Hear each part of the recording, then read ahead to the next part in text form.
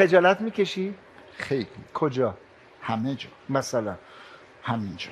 الان داری خجالت می‌کشی؟ من ببین اگه از رومو از تو برگردونم خجالت می‌کشم. آها چشت به بقیه نیفت. هم آره. راست میگی؟ آره. من هیچ وقت اجرای روی استیج نکردم به خاطر همین.